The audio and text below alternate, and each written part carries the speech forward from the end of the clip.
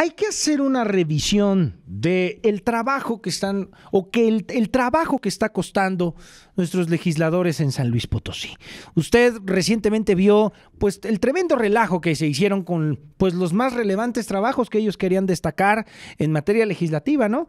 La ley de los estacionamientos, bueno, la gratuidad de los estacionamientos en eh, estacionamientos comerciales y o de servicios, el del impuesto ambiental, en fin, un montón de cosas que luego a la mera hora quedaron como en un limbo legislativo y a la mera hora no quedaron muy bien acordados como tal, ni claros. O sea que el trabajo fue deficiente. Y Ciudadanos Observando recientemente ha hecho un trabajo y una revisión que hoy nos van a presentar de cuánto ha costado el fin de año en el Congreso del Estado. Sueldos, aguinaldos, todo lo que se hizo de este resumen del 2023 y obviamente, Lupillo González hoy nos acompaña esta tarde. ¿Cómo te va, querido Lupillo? Buenas tardes. Jonathan, gusto que te veo. Un placer, como siempre, mi querido Jonathan. Y aquí estamos con todo, con todo el, con toda la actitud. Gracias. Oye, ¿y qué trabajo hacen ustedes, no? ¿Cómo, cómo checar todo esto que ha costado el Congreso del Estado? Vamos a empezar por ahí, Lupillo. ¿Cómo nos fue en materia de costos en el Congreso del Estado. Has venido revisando y haciendo un resumen de ello. Sí, mira, te quiero exponer y compartir tanto a ti y a todo tu auditorio, pues una serie de, gastos que como ciudadanía consideramos verdaderamente insultantes y que ahora que la ciudadanía lo escuche se van a dar cuenta cómo con hechos, que están plasmados en, un ejercicio vía transparencia, son datos del propio Congreso, y aquí nos vamos a dar cuenta cómo desmentimos a los diputados que cada tres años, ¿qué nos prometen? Una legislatura austera, una legislatura responsable y alejada de actos de corrupción. Bueno, a mí yo nomás quiero remontarme, mi querido Jonathan, a ver qué opina la ciudadanía, a ver si se acuerdan de esto. Eh, en diciembre, la diputada de Movimiento Ciudadano, Emma Idalia Saldaña, declaró lo siguiente. Vemos que para todos hay menos para acá y estamos bien amolados. Eso declaró la diputada de eh, Movimiento Ciudadano Plurinominal, porque se quejaba de que tenían un, un elevador descompuesto y que no había ni para eso, que son muy pobres y que no hay para dinero para el Congreso. Bueno, pues en diciembre, mi estimado Jonathan, te comento que son, obviamente, la ciudadanía lo sabe y si no se lo recordamos, son 27 diputados entre plurinominales y locales. Ahí te va. Respondiendo tu primer pregunta, mi estimado, algo verdaderamente insultante. Cada diputado son 27 que integran el Congreso local de San Luis Potosí. Fíjense bien, ¿eh? Cada diputado se llevó, se embolsó todos los días, cada día de diciembre en promedio, 14 mil pesos diarios. ¿Cuánto gana un trabajador que realmente se parte el alma, que realmente trabaja para ganar 14 mil pesos? Esto lo ganan los diputados o lo ganaron en diciembre diario. Diario. Diario. ¿Cómo sale esta, e, este dato, mi querido Jonathan? Bueno, entre, de acuerdo a datos oficiales publicados por el propio Congreso en eh, la sección de transparencia, en el artículo 84, eh, fracción 4, donde vienen los egresos, nos están eh, informando que cada diputado en diciembre en promedio recibió 421 mil pesos con, bueno, 421 mil 674 pesos, entre lo que le llaman dieta y aguinaldo. Y bueno, eh, de dieta fueron 229 mil 525 lo que recibieron y de aguinaldo 122 mil 149 pesos. Bueno. 14 mil pesos en promedio diario, mi estimado Jonathan. Oye, pero ahí es donde volvemos a, a hacer esta revisión con la ciudadanía, ¿no? El trabajo que nos están entregando por lo que están recibiendo está haciendo esa ecuación a la par? No, pues claro que no. Y más con las patinadotas que hemos visto y que ya has mencionado tú en, tu espacio, cómo tienen un dineral, tienen asesores que cobran un dineral y luego hacen malas leyes, hacen malas cosas y se les revierte. Lupillo, pero ¿cómo va a ser posible que estás teniendo un equipo que puedes pagar? En teoría. Bueno, pero, pero debería. Que puedes pagar para rodearte de gente que esté capacitada para asesorarte. A ver, esa, esa, esa de que cualquiera puede ser diputado, pero que puede ser asesorado por los expertos en los diferentes asuntos a tratar.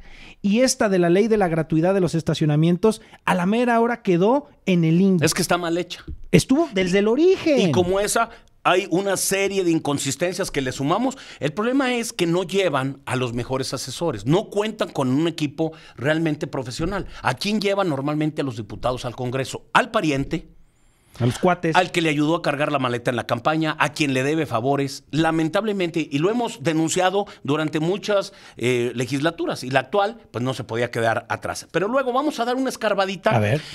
Obviamente son muchos gastos, te voy a dar los más representativos porque de lo contrario nos podríamos quedar tres programas y la gente le quitamos el hambre. Eh, bueno, sí, con lo que les voy a platicar ahorita se las voy a espantar, pero luego al, final del programa a lo mejor les hacemos algo para que se les quite un poco el hambre porque sí, sí, sí se quita. ¿eh? Mira, hay una serie de gastos que no se pueden entender cuando estás hablando de responsabilidad y cuando hablas de honestidad. El problema es que no hay un solo diputado, uno que se oponga a estos abusos, que alce la voz, que diga algo. Todos calladitos. ¿Por qué? Pues porque se reparten el pastel. Pero mira, te voy a dar algunos datos. Cada diputado local, eh, mes con mes, normalmente recibe, creo que son como 92 mil, 94 mil pesos netos al mes, que en su vida lo van a volver a ganar porque muchos no tienen ni siquiera carga. No, Lupillo, no, no, hay, trabajo que, pague eso. No, y con los perfiles que traen muchos, pues no. Bueno, ellos ya en este, en este insultante sueldo tienen incluidos como 8 mil pesos de gasolina, que recordarás que hace dos legislaturas fusionaron todos los apoyos, porque antes metían facturas de empresas fantasmas para quedarse con todo. Entonces dijeron, ya para que no nos revisen, vamos a fusionar todo. Ahí van 8 mil 500 pesos de gasolina que te sirve para recorrer este, toda la República Mexicana. Bueno, no contentos, no contentos con esto, todavía le están metiendo 91.572 pesos y se los dan a otros 12 diputados. Es decir, cada de estos, hay 12 diputados que se llevan aproximadamente como 16 mil pesos de gasolina en el mes, cosa que nunca lo gastan. Es parte ya de un abuso. Luego, ahí te va esto, fíjate, nada más. Los angelitos, los angelitos hicieron una pequeña fiestecita de fin de año en el Congreso, porque pues hay que pasársela a todo dar, hay que hacer una pequeña fiestecita. Pues nada más entre cenita, entre cenita y servicio de iluminación, sonido y cena en todo el espectáculo que dieron ahí más el, la, cena, se gastaron 269 mil pesos, que es dinero de la gente. ¿Tú crees que eso habla de honestidad, de responsabilidad? 269 mil pesos para que cenaran los angelitos. Luego, otro gasto, fíjate. Se gastan 11 mil 600 pesos en renta e instalación de una pantalla LED para un evento de una consulta que tuvieron. ¿Por qué vas a pagar 11,600 por una pantalla para rentar una pantalla LED como esta que tenemos aquí de fondo? Oye, ¿no es más fácil comprarla y quedarte con ella? Bueno, esa es nada más la, eh, la punta del iceberg. Ahí te va otro dato. Servicio de video, iluminación y amenidades. Ah, caray para el cierre del primer periodo ordinario. es decir, terminaron muy estresados después de, del gran trabajo que hicieron y llevaron a alguien que les hiciera todavía amenidades. amenidad en, su último día. Y bueno, pues este angelito gastaron 25 mil 520 pesos. ¿Qué tal? Y luego, fíjate, algo que, que de veras insulta, molesta. Se supone que una persona que recibe 94 mil pesos libres al mes de perdido, creo que esos 94 mil pesos deberían de darte de perdido para que desayunes, ¿no? ¿Cuánto te gusta ah. un desayunito ahí cerca del Palacio de, Legislativo? Uy, no, Lupillo, de 100 pesos eh, ahí queda. Pero mira, más o que, menos. Que, ese día traías hambre, te echaste un desayuno de 200 pesos. Bueno, ni eso, escúchelo bien, ni eso pagan los diputados. Cada sesión cada vez que hay sesión en el Congreso del Estado, nada más para embuchacarse algo extra, porque ni siquiera su desayuno pagan, nos cuesta además 10,901 pesos. Cada vez que hay sesión, se gastan o 10 mil pesos por sesión comer sí, los diputados. Porque hay servicio de alimentos solicitados para la sesión ordinaria de cada, cada vez que hay, hay, hay precisamente esa sesión. Luego, fíjate, hay un, se gastan 68.918 pesos en servicio de alimentos y bebidas Ajá. para reunión del cierre de periodo ordinario. Ah, o sea, claro. primero llevo a alguien que me, me, me divierta, que me Claro. haga un show, que me desestrese. Sí. Y luego todavía pues le tengo que entrar a las bebidas y ahí me voy a gastar otros casi 69 mil No, pesos. bueno. Luego ahí te va. 17.400 pesos, servicio de organización y personal de apoyo para reunión del cierre de periodo. O sea, donde ya tuvimos un cómico, alguien que te, entre, eh, te- dieron bebidas y luego aparte servicios de organización. ¡Ay, qué bonito! O sea, ¿te organizan la fiestecita? ¿Todavía te Y, y hay que pagar ahí, ya van casi 100 mil pesos. Luego, mira, otra cosa, rentan una, ya dijimos, una pantallita La pantalla. como esta, Mm. pudiendo comprarla. Ahí te va otra. ¿Por qué gastar mes con mes casi 73 mil pesos en copias? Porque estos angelitos gastan 72 mil 964 pesos en arrendamiento de copiadoras. ¿Por qué vas a arrendar copiadoras y vas a pagar casi 80 mil pesos? ¿No es más fácil comprarlas? Pues sí. Mes con mes es un gasto y un dinero que se tira a la, a la basura. Y luego me fíjate otro gasto. La diputada, exdiputada, exdiputada. Nadia Esmeralda Ochoa Limón, ella ya pidió licencia y dejó el cargo a su hermana. ¿Verdad? Ella dejó ya de ser diputada, pero de todos modos, en diciembre le fue a todo dar. Ya no es diputada, pero en diciembre recibió 162,769 pesos, pues porque todavía alcanzó aguinaldo y prima vacacional Bueno. del 2023. Y luego ahí te va, mira, ¿cuánto se gastan mes con mes? Nada más en el puro sueldito, en el puro sueldito de los diputados. En diciembre, en diciembre se gastaron nada más 3 millones 298 mil 054. Esa fue la nómina en- de los diputados entre la primera y segunda quincena, lo que nos da un promedio de 122 mil 150 porque son 27 diputados. Oye. y esto es un pequeño resumen. Es pequeño. ¿eh? Ya les Oye. quité el hambre, lo siento. Me alcanzó el corte, Lupillo. Yo creo que, si me permites, vamos a mensajes para emparejarnos con el corte. Vamos a concluir contigo. Pero sí, algo que eh, está quedando demostrado, Lupillo, es que el Congreso nos está costando millones. Claro, eso es. Una, eso es claro, ¿no? Para que luego no digan, no, no es cierto. No, sí, está costando millones. Y usted, querido amigo Radio Escucha, va, definirá si el trabajo que estamos recibiendo de los diputados es lo que cuesta esto. O sea, lo que está costando esto es lo que está valiendo. Ahorita regresamos con los comentarios finales. Yo le decía a Lupillo, que estamos aquí con él, vocero de Ciudadanos Observando, y le decíamos, a ver, eh, y yo se lo digo con realidad, tú dijiste algo bien importante, Lupillo, ¿cuánto se tarda un trabajador en juntar 14 mil pesos? ¿Qué es lo que están recibiendo los diputados al día? ¿Cuánto? Y, una cosa bien simple, Lupillo. En la anterior legislatura, tú recordarás que fue un desastre y dijeron, vamos a hacer, ¿te acuerdas que llegaron y dijeron, y ellos mismos lo mencionaron en esta nueva, vamos a hacer la legislatura más austera? y hasta se ríe. Sí, sí, pues, a ver, señores, estamos solamente hablando de lo que ellos mismos declararon, ¿eh? No estamos metiendo nada. Ellos mismos al llegar dijeron, vamos a hacer la legislatura más austera. Y luego están de mayoría los partidos de la 4T. Ojo, ahí hay una incongruencia, ¿eh? Porque allá a nivel federal están aplicando la de Dios es Padre con la de austeridad a rajatabla.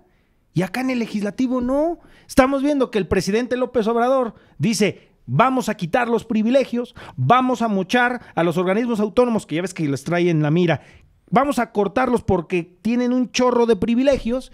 Y acá no se quitan la cerillota porque no oyen las campanotas, Lupillo. Es que ese es el problema, Jonathan, eh, que los que estaban fuera del presupuesto decían, cuando nosotros estemos dentro del presupuesto, vamos a ser muy responsables, nos vamos a bajar el 50% de nuestra dieta, vamos a acabar con los privilegios, esa era su Sí. palabra, porque esos privilegios son insultantes. El problema es que lo hemos visto desde la pasada legislatura. Llegaron nuevos diputados y que nos prometían ser diferentes, que iban a hacer historia. ¿Y qué pasó, Jonathan? Cuando cobraron la primer quincena, cambiaron totalmente el discurso y dijeron, oye, qué diferente se siente estar aquí adentro, tener un coche, vivir con, con holgura. Nuevas pieles, Lupillo. Exactamente. Entonces, inmediatamente todo su discurso, todo el odio que le tenían a los privilegios, dijeron, no, no es cierto, está bien sabroso. Y el día de hoy nos damos cuenta cómo todos aquellos que prometían ser diferentes se comportan igualito a todo lo que critican. Y hay una incongruencia, ¿eh? Porque luego, luego se ofenden, se, se enojan, Lupillo. porque Pues con la pena. Pe- Pero, pero es una pena. incongruencia, ¿eh?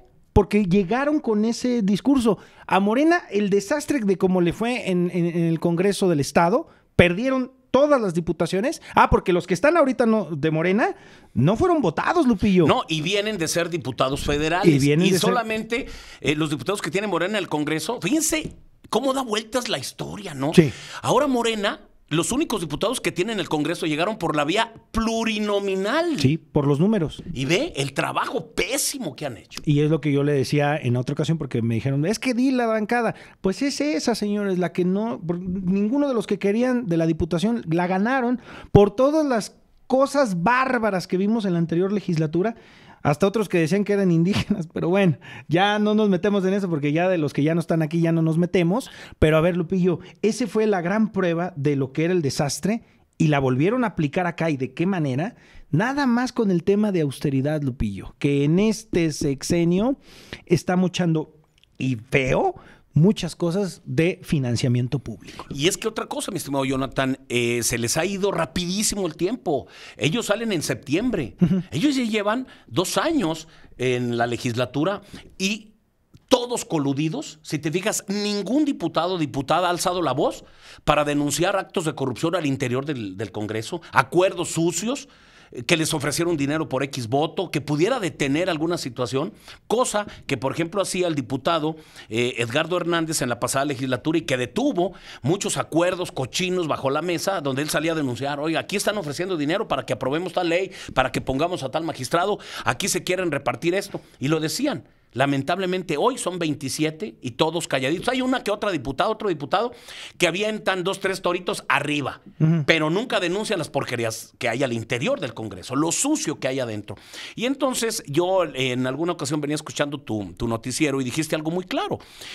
Eh, los diputados, sean jóvenes, lo comentaba también Erika eh, ayer, creo que fue antier, Mm, no es garantía de que seas joven, de que seas diferente, lamentablemente, y, y lo digo con mucha tristeza, porque los jóvenes son quienes nos deben ayudar a cambiar este país. Muchos, mucha gente joven inmediatamente se contamina.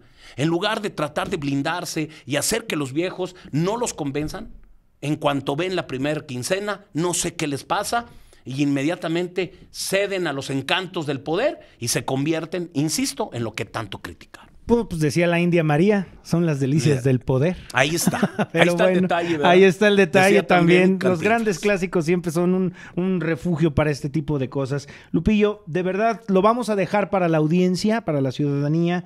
Es un Congreso millonario. ¿Está de verdad valiendo lo que cuesta en materia legislativa? Con todo lo que hemos visto, la última opinión será la de usted. Lupillo, gracias por venir. Siempre es un gusto verte y, y seguimos al habla, ¿eh? Siempre, ¿Cómo? siempre saludándonos con gusto. ¿eh? Muchas gracias y un abrazo muy, muy caluroso a todo tu auditorio. Que estés muy bien. Lupillo González, eh, vocero de Ciudadanos Observando y una persona que de verdad siempre reconociéndole eh, la revisión en la lupa que tiene bajo estos temas. 103.1 de FM.